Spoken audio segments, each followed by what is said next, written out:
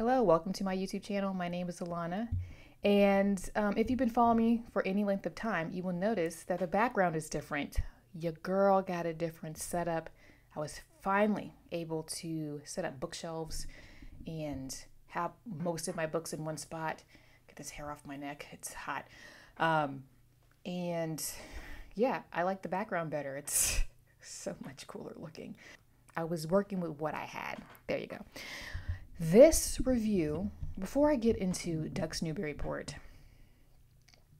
warning. I hated it. Couldn't even finish it, but we're going to talk about it anyway. Before I talk about Ducks Newburyport, I'm going to go over what my my updated summer reading plans are. So my July TBR and my August TBR. Let's swivel smoothly to the side. Eve Babitz ba- uh, Black Swan. Black Swans, not Black Swan. This is not Swan Lake. I would had hoped to potentially get to this in June, but I was having delusions of grandeur, so that didn't happen. So this is getting pushed over to July. Short story collection. I think they're more like short essays.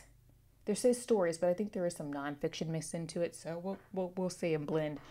Paul by Daisy Lafarge is another one that I had, you know, the delusion that I was going to be able to get to it this July. Hair poking me in my eye. Ow. Or sorry, this June that didn't happen, so I'm pushing this forward to July. This shouldn't take me that long to get through. Um, but yeah, I don't really see many people talking about this book, so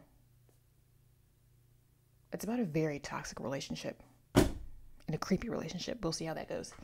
Um, ooh, a buddy read with Kieran. If you know Kieran, he's on YouTube's. Um, if on a winter's night, a traveler by Calvino. I'm excited about this one. Um, so this is a buddy read. I have this is my first Calvino, so we'll see how that goes. My bedtime read for the month of July, which will probably get pushed into August because it is 600 pages long. It is finally getting to this. I purchased this like two years ago. Um, six Tudor queens, starting with Catherine of Aragon. So Aragon, I said Aragorn because if you don't know, Aragorn in Lord of the Rings is one of my favorite male characters of all time. The man's a stud. He is. What this collection is, you can see them here. I'm missing the sixth one. I need to go ahead on and complete the collection. But Alison Weir, who has written, she's very knowledgeable of the Tudor period. I believe she's actually a historian. And so she now writes nonfiction and she does write fiction based on the Tudors. And so she completed a, did a collection of, or a series of six books, each one from the perspective of one of Harry, the Henry Harry, ooh, Freudian slip, Henry the Eighth's wives. so finally getting around to this, starting with his first wife, Catherine. Um, this one is 600 pages, but it's again, it's historical fiction, and I, what I've heard, these books are pretty compulsively readable. She's actually, now that she's completed that series, she's actually going in with a trilogy from the perspective of Henry VIII. And the first book, I believe, is published this summer. But let me let me get through these, which is going to take a decade. But you know, we'll we'll see. And I also have some Philippa Gregory back here that I need to jump into. But anyway, my main read, this piece of Marmite, my main read of July is going to be Q-Teen84 by the infamous Murakami. I know people who hate this book, and I know people who love this book. I think I'm actually going to love it. I like weird fiction. I do. I like f- fiction that is sometimes uh, like Marmite. And so, my friend Christy Lewis from Dostoevsky in Space, who you should subscribe to because she's so nice. Um, and she's one of my friends, book friends, that we discovered we discovered each other through booktube or bookstagram actually bookstagram and we've become like real life friends. But anyway Kieran also by KDbooks katie reads i think his youtube and his instagram handle are one of the two. He they're not the same but it's one of the two.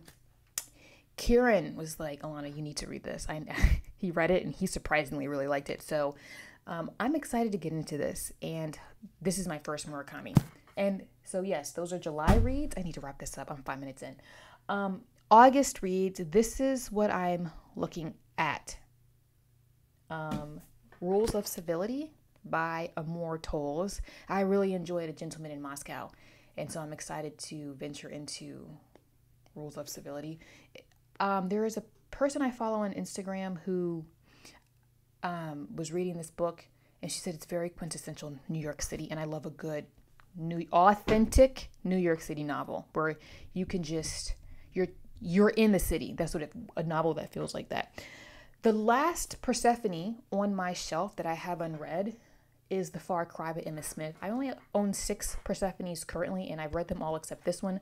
I believe this one takes place a young English teenager woman or something, and she goes to India.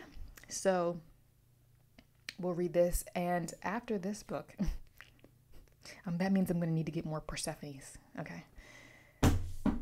I don't. Okay, if you are not in the UK, and because there is a Persephone Books bookstore in London, and getting them shipped straight from Persephone's website is expensive and the price has gone up exponentially post 2020.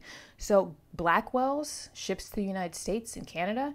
So if you're in North America and you can get Persephone's books for like $10 cheaper than if you were to get them shipped from Persephone because the shipping is insane.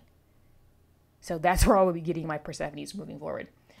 I have a rom com. This isn't really a rom com. This is just a contemporary romance. I don't think this book is particularly supposed to be funny, but it's. I have not read Christina Lauren yet. Love in Other Words. It sounded like something that I would potentially get on with. So if you don't know, I don't read much romance, but I'm changing that. I am putting in romance within my TBR and my rotations, and I've been enjoying it thus far. I read People We Meet on Vacation um, back in May. Spoiler alert, I actually really, really enjoy People We Meet on Vacation. Um, I can't wait to do that review. And I just finished The Flatshare by Beth O'Leary, which I also really enjoyed. So, this rom coms and contemporary romance is still a little bit outside of my comfort zone, but I'm getting used to the fact, I'm getting used to putting in books that are outside of my comfort zone, exposing myself to different genres. And the books like this just are really nice palate cleansers. Um, when after reading something like I don't know an 800 page Victorian classic, ah, starting the Farseer trilogy with Assassin's Apprentice. This book will not take me long to get through. I have ooh, poking me in my eye. It's not even 400 pages long. Ooh, ooh, ooh, hype hype. And I'm so glad that total there are five other books that they're that completely complete, completely complete. Because uh, I've heard that. Ooh, I've heard that is good. So fantasy. Oh, Game of Kings. Also hype. This book I've heard is so good. The description cause it let cause it or the the blurb in the back says combining all the political intrigue of Game of Thrones with the sweeping romanticism of Outlander. Something went down the wrong pipe.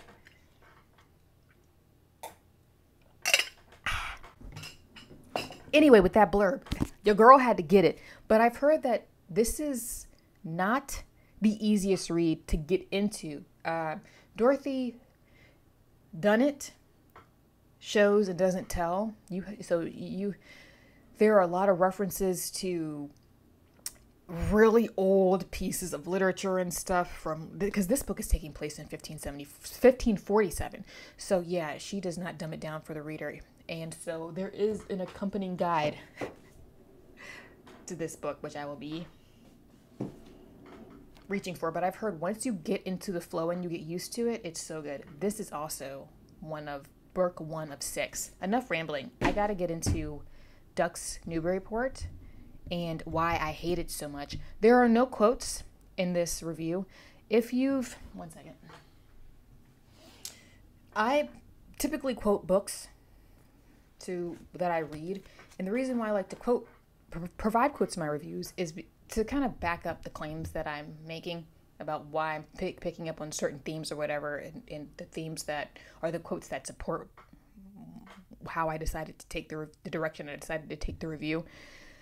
I don't have any quotes for this book because I, I just this is actually it's a review, but it's a rant. I know that I have some people who are fans of that.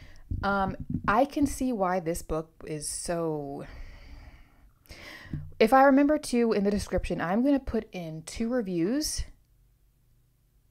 that also pretty much felt the same that way I felt that are on YouTube. Now, there are people who liked this book and but if you go on if you Instagram, if you go on Goodreads, you go and look at the Amazon reviews, it is like and I'm not the only one who's claiming why I hated why I hated this book. Same reasons.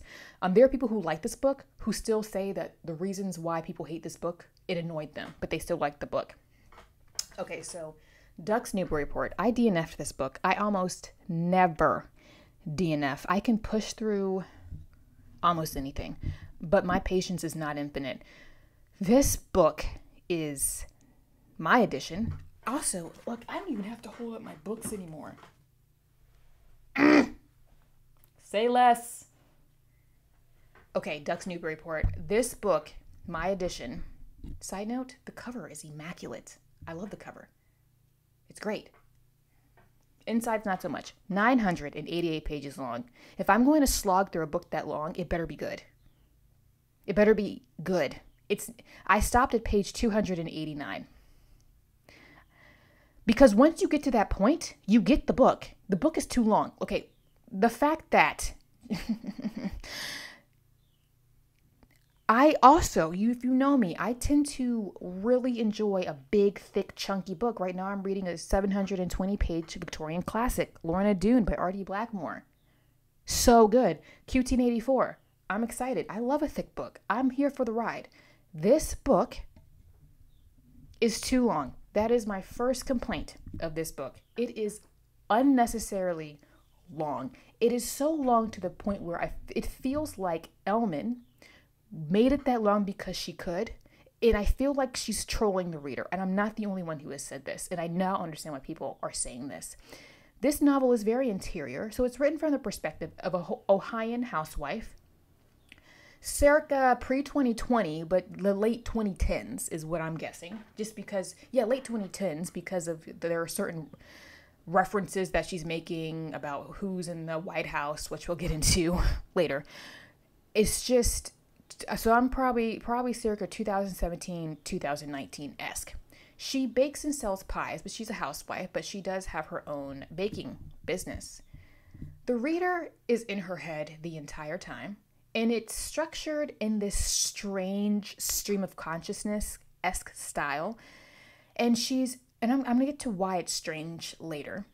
She's musing over her husband. This is her second marriage, and also her uh, former husband her ex husband, her four children. They have pets, American culture, American society and politics, memories. She discusses a lot about her mother. Her mother has since deceased. And so, one thing that you will realize is that it's this very painstakingly slow build up to how her mother passed away. And I'm going to go ahead and say when you I knew how her mother passed away anyway before I got into this book, so it wasn't a particular spoiler for me, but the build up for an almost 1000 page novel when you get to that point is infuriating. You're like that's it? You built up 1000 pages for that? Okay. And so you also get these random words, movies, food, etc. These the the book is technically written in eight sentences. No, and there are sections, and each massive section is one sentence. Which, when you first think of the premise of this book, like, yeah, that's cool. Let's try it out. It's a bit experimental, right? Mm. When there is a break in these massive sections, these woman's thoughts, this woman's thoughts, rather, she's one person, debatable, is paralleled with the plot of a female mountain lion. It is very clear from page three of this novel. Another reason why it doesn't need to be 1,000 pages long is because very, very early on, I'm talking within the first three to five pages, you understand that the mountain lion symbolizes this woman and vice versa. With the themes of motherhood and survival. And because this goes on in such a repetitive way, back and forth, and also these women's stream of consciousness thoughts about what she's thinking about are so repetitive, and ev- almost everything repeats itself multiple times. It's so un- it's it's just irksome. It's not even annoying. It's irksome. I loathed it. It's just stop talking. Um, this doesn't this book does not need to be this long to make the points that she's making about the death of her mother, the grief in processing that death, the build up to get to the death of her mother, the parallel with the mountain lion. We don't need it. We do not need it to be 1000 pages long at all point blank period. It's too long. Oh, And like I said, a lot of her thoughts repeat themselves, and I get it. When you're in your own head, you repeat a lot of the same thoughts over and over again. I get it. She should have still done that in 350 pages. We are, I mean, we, all of us obsessively think about certain things over and over again. I get it. I get it. But I don't want to read it. Okay, yeah, like I said, if this book had been 300 to 350 pages long, the point could have been way, been made way sooner. The structure actually of the novel could have remained the same. The random lists of words that you get, and all of this commentary and her her background, her marriages, her kids, her mother, all of it could have been done in 300 to 350 pages. But the most important elements are sandwiched with just the most mundane, pointless thoughts that again repeat themselves at nauseum. That's um, it's just too long. If it had been shorter with the same structure, it would have been way more impactful. It is more difficult to be concise to be concise than wordy. And again, I think that she did this just because she could, and because it was different. And people were like, "Yeah, let's publish that at 1,000 pages." All right, moving forward. The fact that this is a contemporary novel set in the 21st century. Like I said, circa probably between 2017 to 2019. Say circa 2017, 16. Donald Trump is in office. Let's just put it that way. We'll get to now. I'm about to go in. All right. So yes, because it's a contemporary novel set in the tw- the uh, the t- late teens of the 20th century, 21st century, I'm going to expect political conversations, current affairs, social commentary. I'm going to expect it. I expect that in almost every contemporary novel that I pick up because isn't that what the classics are doing? Yeah, people are talking about the day and time in which they live. But oh my goodness, the political statements in this book are infuriating, partially because they are so repetitive and extremely one-sided. The amount of times that Donald Trump is mentioned in this book in the in the little bit less than 300 pages that I read is again infuriatingly obnoxious because it is so repetitive. We get it. You don't like Trump. I don't give two flips about Trump. The man doesn't live in my head rent free. Do I like him? I could care. I don't like any politicians for the most part. No politician lives in my head rent free. Want to know why? Because almost all of them, 99.999% of them, are, are probably shady and unethical and immoral. Okay? But the fact that she just rags, and I'm talking about El- Ellmann, rags on the man and his wife over and over we get it. You don't like Trump. Let it go. I feel like most Americans, especially, are sick and tired of hearing the name Trump. Can we just move on? Uh, Kieran and I were talking about this book. He's Welsh. He was like, I got sick of hearing the name Trump. That's how much he is in this book. And I'm going to say something. If an author had ragged on the Obamas and commented on the appearance of Michelle Obama, the way that she talks about the appearance of Melania Trump. If she had done that, I'm playing devil's advocate. Let's call a spade a spade. If anybody had done that to the Bidens, which will, or Obama and his wife, oh, they would have canceled her, hands down. So, you know, it's just annoying. And to me, I don't care how much I don't give a flip about it, a lot of these politicians. There, I just have a boundary I'm just not going to rag on somebody's wife like that. That's the first former first lady of the United States. I'm just not going to do it. I think it's disrespectful whether I like you or not. But she couldn't rag on Michelle Obama like that because if you do, you're a racist. But okay. It's just annoying. It's almost like, can we let it go? Okay. We are, again, we are sick and tired of hearing about Trump. We're sick of it. And it's just, she just goes on and on and on, and it's just not adding anything. Trump, Trump, Trump, Trump, Trump. Let it go. Okay? These politicians don't even know you breathe air, okay? And Biden ain't no better. These people are corrupt, all of them. Left wing, right wing, same bird. I heard a, a really well known psychologist say that it once you get to the federal level, especially, most of these people, especially world leaders who are leading a country, who are the face of a country, what they often had to do to get to that point, you wouldn't like any of them. So let's move forward. Okay, these people don't live in my head rent free. No, no, none of these people are my savior. These people didn't die for you. Okay. The fact that, hmm, as a history major who wrote her graduating thesis around the um, on the American Revolution, I was infuriated by some of the statements that are made in this book about American history. It's very inaccurate. It's politically charged. And It is identity politics charged, and it's inaccurate. There are debates. It's it's these conversations and statements are way more nuanced than it's just political talking points. Um, for example, no, the Star Spangled Banner, which is this country's anthem, is not inherently racist. The reason why you may see articles claiming that the Star Spangled Banner is racist is because the term slave appears in the lyrics. So, there are actual historical documents or, or documentaries by historians breaking down why the Star Spangled Banner is the way that it is and what it is from. What's it based off of? A historical event, okay? So people hear see the word slave and they get triggered. The Star Spangled Banner is a really about the United States, the colonies, versus Britain being a slave to tyranny. It is not talking about bodies in trade. Okay? Stop it. Slave can mean multiple things. It has multiple definitions depending on context, which this book has no context whatsoever. And if you look at the linguistic usage of the word slave during that period, yes, oftentimes it is talking, yes, you can have slave bodies, right? There is not a country on this planet that has not had slaves at one point in its time, period. Oh my gosh, I'm so irritated.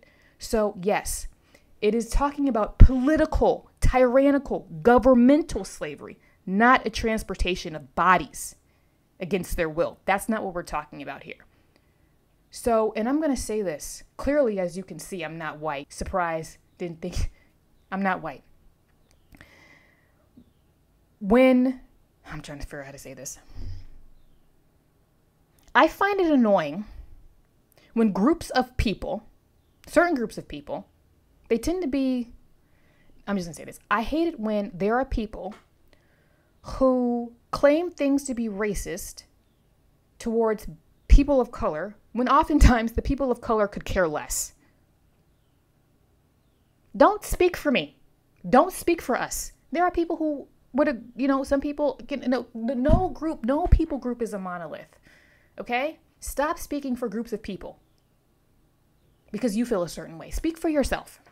Okay? And even within a group of people, the black community, Native American community, Hispanic community, the you know, whatever, very diverse, okay? Very diverse. We don't all think the same way. There are people of color, Native Americans, Latinos, Latinas, African Americans, etc., Asian Americans, who have died for this country, all the way back up pre American Revolution. There are people of color, Native Americans, and African Americans who fought in the American Civil War, both on the side of the South, yes, and on the side of the Union. And so people have died for this country of all colors. Back to the colonial times. And so um, many of us who which still revere and you know think that the Star Spangled Banner is the, this country's anthem and should be treated as such, regardless of a country's history. So yes, stop. As one of my middle school history teachers would say, "You are loud, and you are wrong." Right? Every country has its woes. Let's chew up the fish and spit out the bones. One of my favorite quotes that I heard recently is this: "Was when you look in, the, when you keep looking in the rearview mirror, you can't drive straight." Let's stop getting distracted. History is history. Acknowledge it, research it, understand it, and keep moving forward. Because if you keep looking at the past, you can't think towards the future. And this book is just political identity nonsense. And I'm sick of it. The fact that this woman goes on and on about things in American society in the most narrow minded news headline way. And this is kind of stemming off what I just talked about. It goes on and on about it goes on about guns. It goes on about the police and race. Again, so repetitive that it's annoying. It's very very one side of the spectrum. And I felt like I was reading inflated news lines from legacy media. Um, and I got her point very quickly, very quickly. But it's so repetitive. Again, I do not like it when groups of people are lumped in together with no nuance. Again, no group is a monolith. Not all police officers are the same. I have friends and colleagues who are police officers, and they really care about their jobs. They care about keeping the community safe. They and they're making very little money for what they do. Again, not all officers are bad. Not all people. Uh, she also go there's a lot of like pro-choice, pro-life stuff. And just why people take a stance that they do is so complex. Very complex. And so again i am not i i j- stop grouping groups of people together. So as i'm going to say not all police officers are the same all people who are pro-life or pro-choice are not the same all democrats are not the same all republicans are not the same all independents are not the same not all white people are the same not all people of color in various groups are not the same. And it's just so annoying. And I can now it, it's it's just a lot of the statements are inaccurate and they're not nuanced. And you can tell that Ellmann is really actually pushing her own points of view, which okay, you can do. It's your book, you can do what you want, but it's just annoying. And I can see how people have said when this book was published that this book is not going to date well because it's just she it's just not going to date well. Which playing devil's advocate, this book is really a snapshot of a certain place in time in America political American political and social history, if you will. Um, and you can see how what people were thinking about. Her thoughts are not uncommon. I'm just saying. Okay. But in four four short years of this four what four to five short years of this book being published, it's already dated. And I can see why many reviewers were saying this book was not would not age well. And again, Americans, I'm going to say Americans. I cannot speak for any other country's political climate. Aren't we tired of this? Are we tired of this very black and white thinking, no pun intended, very, you know, one sided thinking, or if you're this way, you're automatically over here. If you think this, you're automatically over there. Most people are actually moderate, maybe slightly right or slightly left of center, depending on the view, depending on the issue. Aren't we tired of this? This is how, aren't we tired of it? I'm tired of it. Um, I think this book actually would have been more interesting if it was the, the voice, the narrator, was either politically neutral or independent and and discussed things in a more moderate way because I think it would have been a more interesting snapshot of a spectrum. But again, the author chose what she wanted to do, so she can do that. I just don't have to like it. Um, I just felt like a lot of it also was quite contrived.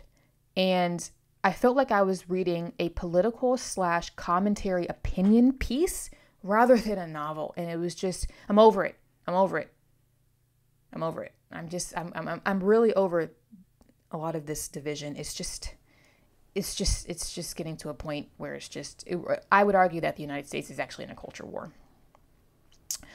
The fact that the, that the stream of consciousness is awkward. No one thinks like this. No one.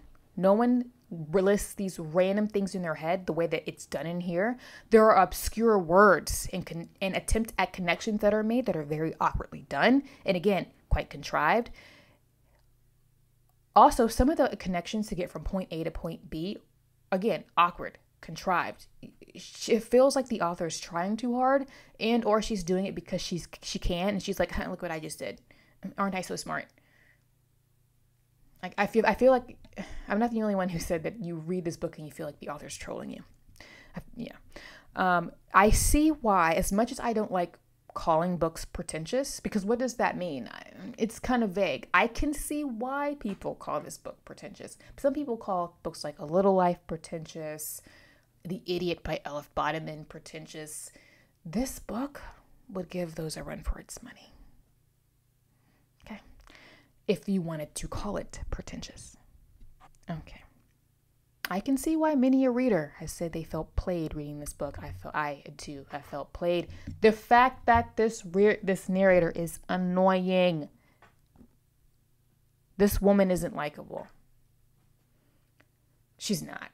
I don't and I don't need my characters to be likable. Actually, I love to hate a good unlikable character. and especially if they're written well, ooh, you know that they're horrible, but you like them anyway. Good example. If you are familiar with the Poldark series, George is the main villain of the Poldark series by Winston Graham, but George is such a good villain. You love to hate him. And there are many other characters. Jane Austen's a good one. There are characters that you just love to hate. This woman is just annoying. Okay. Um, I actually listened to this book via audio while reading the hard copy along with it. And it was just I don't know. I just couldn't take it anymore. Again, by the time I get to pay, got to page 289, I was like, I can't take it with this woman's. I can't take it anymore. I'm so done with this woman's voice. The narration style, even if I was reading the hard copy of it, just the narration style, again, the repetitiveness. I got the point. I was I was over it. So I was like, I'm not wasting my time anymore. I get I get it. Um, this woman is very self centered, which I get the point. We're in her head. If any of us were to have our thoughts put on an audiobook, we would all look self centered. Let's be real. We would all be self centered. But it's just. This woman is not likable. She's just she's just annoying. Okay? We would not me and her, we wouldn't be friends. We would not be friends. Um it's hard to describe. She comes across as a bit whiny and woe is me. And I, my personality type, I, I, can't get on with that. Girl a spine, move on with your life. I need, I, she just, we wouldn't be friends. I'm, I'm going to leave it at that. The fact that I will be ridding my house of this book once I'm done with this review, it is getting chucked. I'll probably give it away to, you, you know, the thrift store or something. But it, has got it's it's getting out of this house ASAP. I'm done. I'm so glad I'm done with the reviewing the reviewing process. It's, it's got to go. That book is thick. You see how thick this thing is? This is a door stopper. Taking up, the, I can put three books on a shelf for this one. It's got to go. Wasting my wasted space. All right. Um, I get what Ellmann is doing here. I don't like it. It's too long. It, the fact that it is just too long let me make one thing clear about this book. Ellmann could have kept everything the same, everything that I didn't like, the Donald Trump going on at nauseum, the very one sided political views, the inaccurate historical statements. All of it could have stayed the same. If she had made this book shorter, I would have given it a way higher rating just for the fact that it is actually an interesting piece of fiction the way that it's constructed. I don't really like it. I get that it I get what she's doing. I do not believe that she just threw words on a page. I do think that she had to take some research when it comes to synonyms and antonyms and words that sound a certain way together. I get all of that. It, this did take effort. I'm not going to say that it didn't. Because it actually, there is a plot. Well, there is a timeline, and she's syncing this woman's stream of consciousness to a timeline. I get it. If it had been shorter, I would have given it a way higher rating. 1,000 pages? Are you kidding? Throw it away. Not literally. Just give it away. Give it away. Actually, I think I know people who threw this book away. Kieran threw a, a cinnamon roll at it. Can't say. Blame him. I'm definitely going to link his review uh, uh, below. It is immaculate. Um, and also because it, it's, it's, it's experimental. Again, if this had been a third of the size, I would have given it probably at least a three. But it does not need to be 1,000 pages. At this pointe, it seems like you're gloating. And I'm a patient reader, but I'm not that patient and I'm not going to get played. I don't need it. I have limits when it comes to personal self torture, right? I, I, I dance on point for fun. Are you kidding? No, get rid of it. The fact that if I read the fact that one more time in this book, that's the thing. The fact that, the fact that this. Almost like how when you read Slaughterhouse Five, so it goes is this reoccurring phrase in the book. It's the fact that is a reoccurring phase, phrase in this book. I'm throwing the book across the street if I read this one more time, and I'm going to back it over with my all American, gas guzzling muscle car. And I'm pretty sure that if I did such, the narrator would clasp her pearls and gasp. Because how dare I, as an American, not always throw shade at my country? Okay? I will say this I'm all about critiquing countries and, and, and things, but you can't control where you're born. You know what I mean? So as an American, I acknowledge the good, the bad, and the ugly of this country. And but I appreciate my country for what it is. I can't I I was born here. I have no choice. And also as a history major, my hair is looking crazy. As a history major, yeah, I I've studied some stuff. But, you know, you can't control where you're born. And there are as people as much as people like to dog certain things, you have to acknowledge that there's good and bad to everything. Um, and so I like to look at the country holistically. Um, every single country on this earth has its horrid bits. Horrid. You go back to ancient times, go back to AD, BC times. Every country has sordid history. Every single one. So, um, I don't hold grudges. I just learn my history and I move forward. Okay? Um, you chew up the fish and you spit out the bones. And so, again, when you keep looking back, it distracts from the now. So I might as well just go head on and strap a bald eagle in my car and wave the American flag out my window of my all American car. Sure will. I just, I have other things to do. I'm being facetious, but I have other things to do and just sit there and like hate on things all day with nonstop your girl got bills to pay. All right, I'm being facetious. Let's move forward. This book was obviously a hard no for me. I'd rather read Conversation with Friends by Sally Rooney three times in a row. I am not kidding. I'd rather read Sally Rooney. This is how much I hated this book. Um, and I, I, I, I'm so glad that I decided to DNF it. I tried to push through. I couldn't push through this book. I would rather read Sally Rooney. Conversations with Friends, as much as I loathe that book, you can watch my review, is a better book than this. I hated it. Um, never again. I know why so many people feel the way they feel about this book, why they hate it so much. There are people who love it. I have, uh, I know some bookish acquaintances who love this book. Again, it just goes to show that, you know, what is one person's yuck is another person's yum. Don't let me yuck your yum, all right? I hated it. One out of five. I think for me, as a, an American who is politically homeless. I'm politically homeless. Um, I have strong views about things, but I don't like to get caught up in this war of the the the, the binary political system that we have. And I listen to various points of view, um, but I don't make my politics my identity. I find stuff like this to be annoying. Um, I, I'm a deeper thinker than that. Yeah, I'm throwing shade. I'm a deeper thinker than that. I don't think binary in that way. I don't think binarily about politics. Um, I so I'm politically homeless, and so books like this, it can um, it can get wrecked. One out of five. I'm done. Have you read books? Books. Uh, books. Have you read Ducks Newburyport? If so, what were your thoughts? If you loved it, please share with me why you loved it. Because again, don't let me yuck your yum. I know that I love books that other people hate. Um, this one was just not for me, and I'm getting rid of it. If you like this review, or you didn't like it, like it, like it, or don't like it. Do you? Um, let me know your thoughts below. Um, yeah, when I posted this review on Face, no, sorry, Instagram, there are people like, oh, yeah, I know people who like this book but still complain about the same exact things you complained about. So I'm like, cool, interesting combination. But again, don't let me yuck your yum.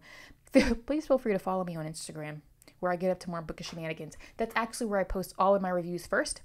Um, YouTube is way behind Instagram for my book content.